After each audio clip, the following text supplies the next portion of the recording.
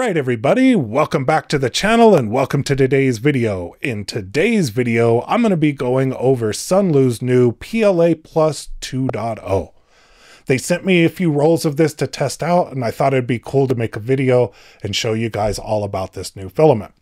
In today's video, we'll go over the spec sheet. We'll go over some instances where you may want to use this type of filament, where you may not want to use this filament, how this filament compares with like between PLA all the way up to like a carbon fiber engineering filament. We'll go ahead and um, calibrate it in the H2D, and then we'll go ahead and do a test print with it so we can fully check out um, this filament. They did send me two colors of it and more rolls than I'll be able to use. So at the end of the video, look for a way in which you can get some free rolls of filament from me. So if all that sounds good, then sit back and relax and I'll get everything ready.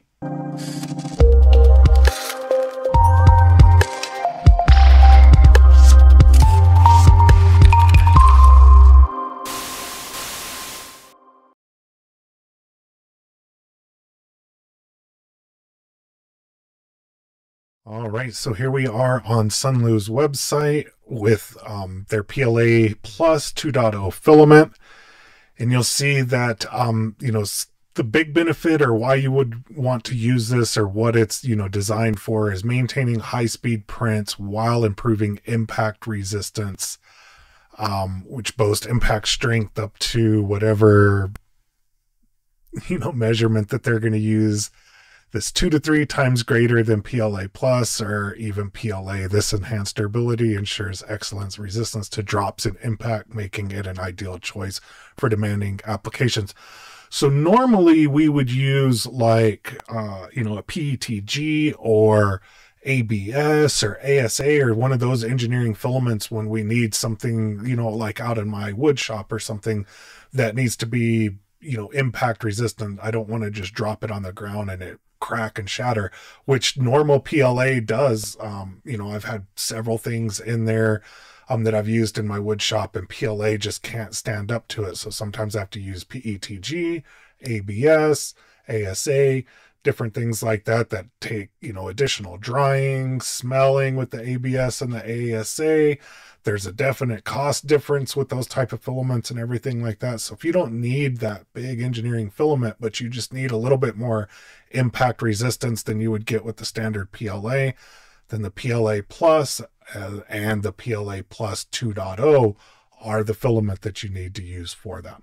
So let's go ahead and take a look at the spec sheet and um, dive into that a little bit more. So here is the spec sheet for the PLA 2.0 or PLA Plus 2.0. And we'll see that they've tested a lot of the elongation, flexing, and all of those different type of um, things. Where this isn't going to come into um, play is with um, chemical resistance, like you might find in ABS or ASA or one of the other engineering filaments. So if you need impact resistance and chemical resistance, then maybe some of those glass filaments um, or you know ABS or ASA may be a little bit better than this, but just for a little bit stronger PLA that you can use out in the shop for some of your woodshop tools and jigs and stuff like that.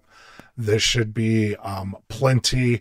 And I believe on their other website, it's like $12.50 for a roll or for one of their refills or something like that. So super cost effective and should be very good at, um, you know, a little bit stronger PLA, but don't necessarily need or want to pay the price for the engineering filaments.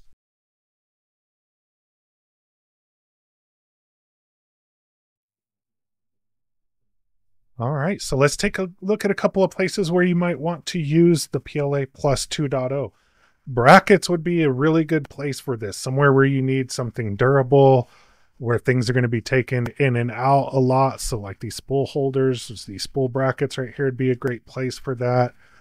Any place where things are going to be coming in and out um, a lot would be a great place for that or where you need durability another thing um, that you might want to use this for for clips any type of little clip that you might have um, this might be a great filament um, to use for that where you need that extra durability, impact resistance without paying for a, you know, engineering filament. And then last but not least, tool holders would be another great, um, you know, use case for this out in the garage where, you know, these hard metal tools are going to be coming in and out of these little holders and brackets and stuff. You need something that's a little bit more, um, you know, impact resistance than normal PLA, but again, you don't want to spend the money on ABS or ASA. Um, so those are some sample use cases there that I think would be great for this filament.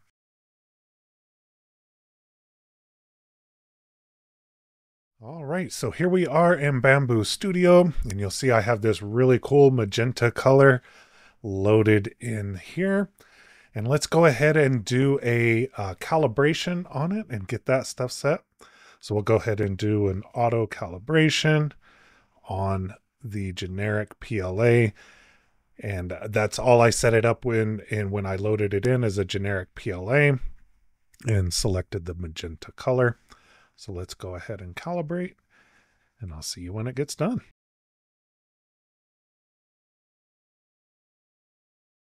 All right, and now that it's done, let's go ahead and have it save the K factor. And now let's move over to the flow rate. Let's go ahead and select the same filament and hit calibrate on that. And I'll see you when it gets done.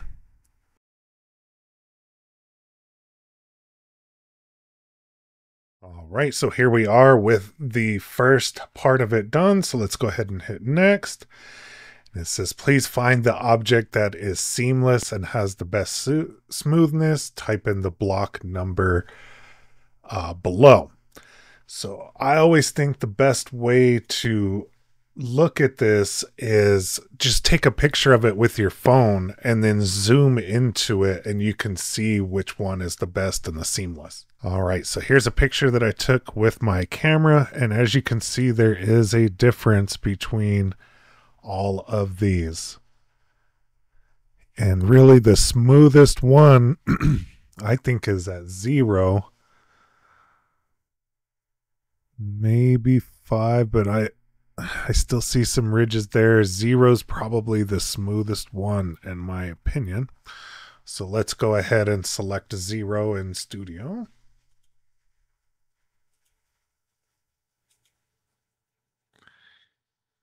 And then hit calibrate. And now it will send another configuration for us to do the same thing. So I'll see when it gets done.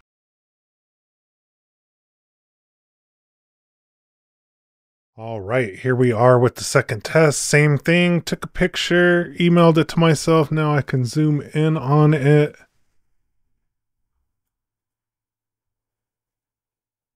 And once again, you know, looking at all the ridges and everything, I think zero. So I don't think we really needed to do any of this calibration here. Um, I think it was just fine. So let's go ahead and jump back into Bambu Studio and go ahead and hit next. We're going to fill in with zero and save filament preset. So this is what it will be uh, called. So we can call it Sunlu PLA plus two flow rate calibrated. All right, so that's it with the calibration. So let me load up the Benchy and then we'll get to the next piece.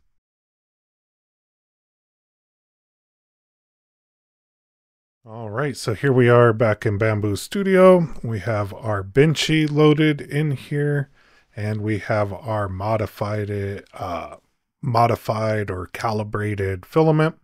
So let's go ahead and print it out and see how it does. It is warning us about the overhangs. For some reason, I'm still in 16. Let's change it back to 0.2. That gets us back to an hour and a half. We do know we have overhangs. That's what we're testing. So let's go ahead and print the plate and I'll see you when it gets done.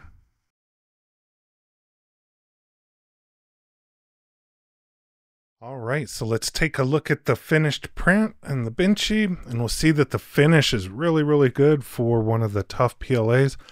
And the things that I look for here are, you know, the gaps, these edges, these overhangs here. I see if there's any stringing or clumping or anything like that.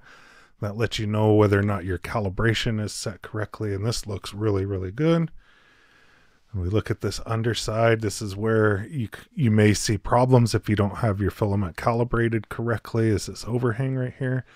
Everything looks good. Little bit of bumps right there, a little bit of uh, layer lines, um, but it feels smooth to the touch under there. So really good on that. And then again, the cool part about this benchy and other benchies is there's an arch, there's a circle, and there's a square right here. So it's good to see how it handles all of these little overhangs. And as you can see, there's no support here. So it is printing in mid-air as it goes across there. And it did a pretty good job there. Same with this arch, same with the circle. And then again, you can see the same on the finish there.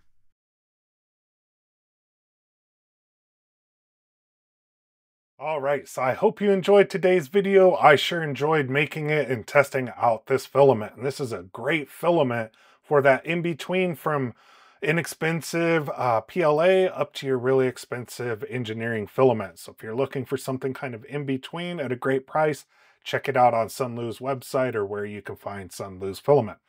If you'd like to get a roll of this cool magenta or some silver for free, then join me on our live streams on Saturday evenings for the rest of the month of October, where we'll be rating um, people's uh, decorations and masks and different things that everybody's getting um, printed and ready for Halloween. So as you print these things out to decorate your house, to make masks, to help out your kids with their Halloween decorations and everything like that and all the cool things that you're printing for that, be sure to snap some pictures and send them um, to me so that we can review them on the live stream on Saturday and you can win a couple of rolls of filament for free. I'll also have some other prizes at the end of the month, so look forward to that. And I look forward to seeing everybody on that live stream and seeing some really, really cool Halloween decorations.